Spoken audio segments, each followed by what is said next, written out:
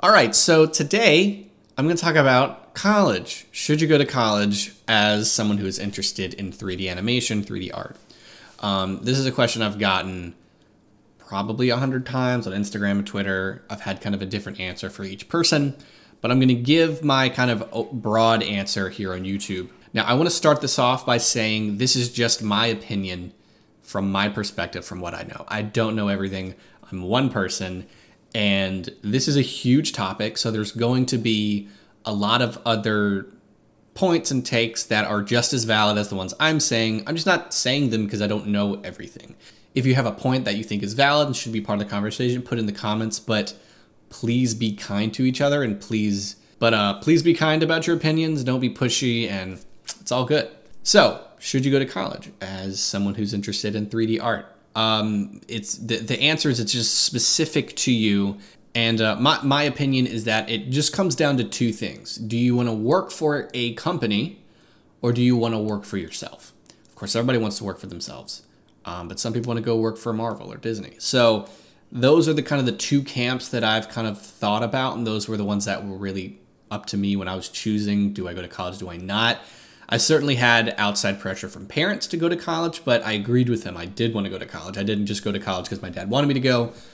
I really did want to go. So let's do the one for going to college. So my, my opinion is if you want to work for a large company, say Marvel, Disney, Facebook, Nvidia, whatever, um, as a 3D artist, you're going to want to go to college because these are massive companies and just like if you're going to the bank for a loan, they want to look at your credit history and your payment history to see are you a liability. So going to one of these large companies, they want to know are you a liability because they're paying you this much a year. They're giving you benefits, all that stuff. You're a part of the company.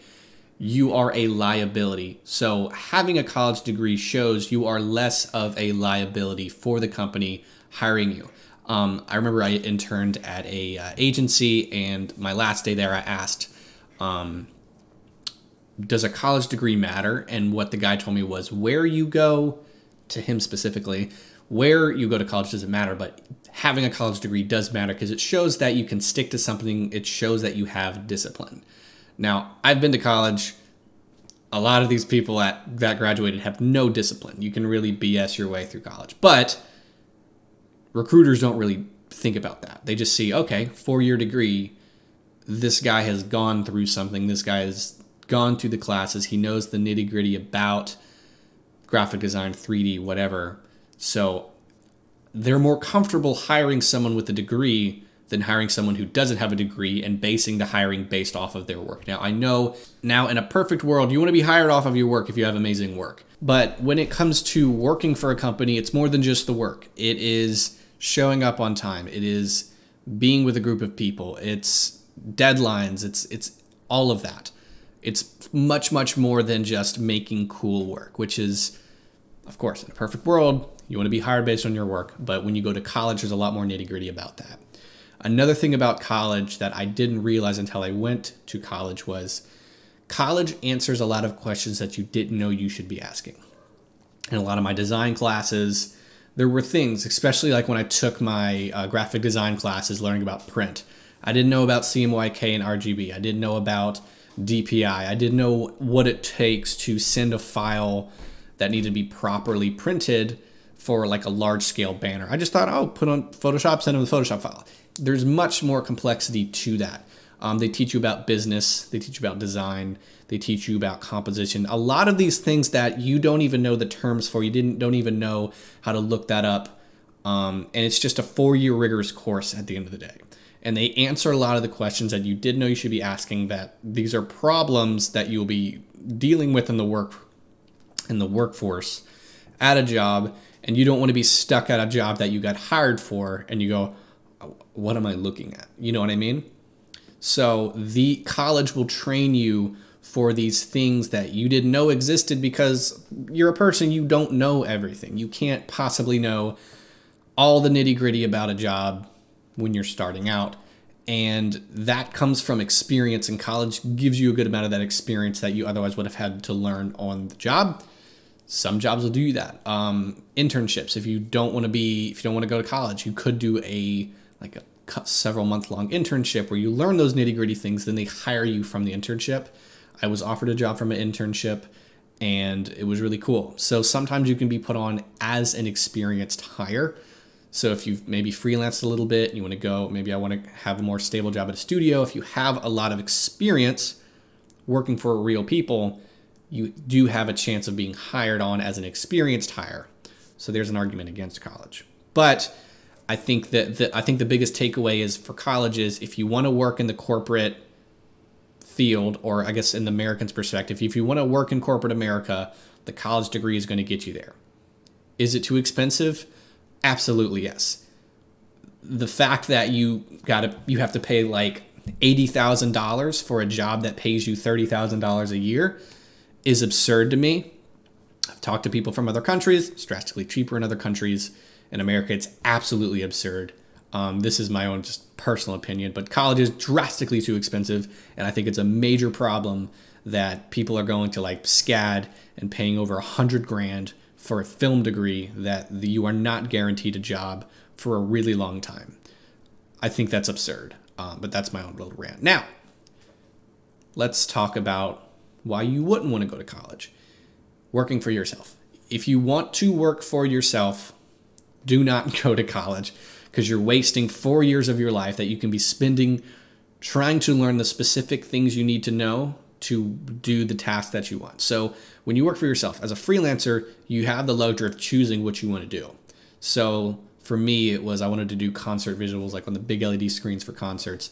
So I was specifically learning the tools, the tricks, the styles for that specific task because that's all I wanted to be hired for and that's what I was going for can be very unrealistic sometimes as a freelancer. You just have to take what you can get.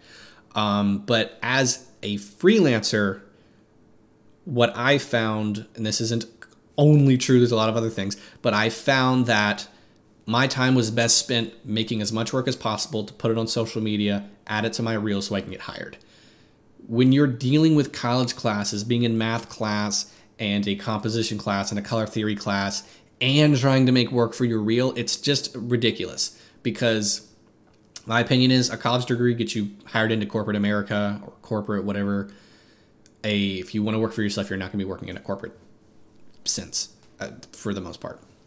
So don't go to college if you want to work for yourself. Spend the time, buy courses. I would highly recommend if you want to work for yourself, buy a lot of courses and learn as much cool stuff as possible and then learn about business, learn about your taxes, how to file your taxes, learn about LLCs, learn about putting the business in a different name, S corp, LLC, all that stuff. There's a lot you need to know about the business side of things. There's a lot you need to know about clients and, you know, artist client relations, how to get clients, where to get them, which is so hard. I can't advise on that. I am lucky enough to have this YouTube channel as my job. I don't do a lot of freelance, and the freelance that I do comes to me from social media. So I can't really give an opinion on how to get clients. I do get that question a lot. Um, but that's really hard. The thing about is if you want to work for yourself, you have to be really, really disciplined. You can't sleep in all day and then because you have cool work, you think you're going to get hired. People with terrible work get crazy high paying jobs because they know how to network.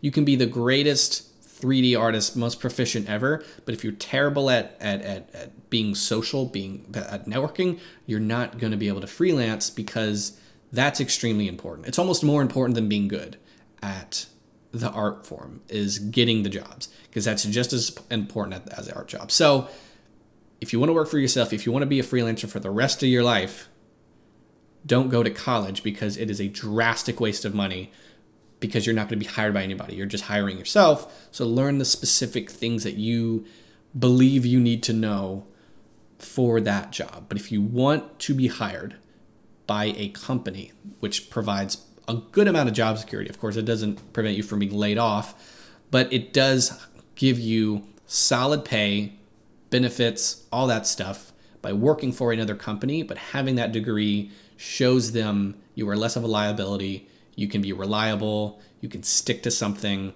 and that you probably, emphasis on probably, you probably know the things you need to know for the job that you're getting hired for. It's drastically expensive if you're going to do it in America. I can't do anything about that. You're going to be in debt. unless you can get a scholarship. If you can get a scholarship and you want to be hired by a company, go for it because it's a huge, huge financial burden. Um, but I already had my rant about that. Um, but we're coming up on about 10 minutes. So that's kind of it. Relatively brief, but that's my answer. Synopsis if you want to go work for a company, get a college degree. If you want to work for yourself, don't get a college degree. You just have to work a lot harder. If you freelance, you're going to be working harder than you will if you work for another company. Uh, with that being said, that's my opinion. I know there is a lot that I didn't say because this is my singular opinion. Put it in the comments. Of course, be nice, be kind. You can have conversations in the comments. Just don't don't be pushy. And that's and that's my take. Thank you guys for watching, and I will see you in the next tutorial.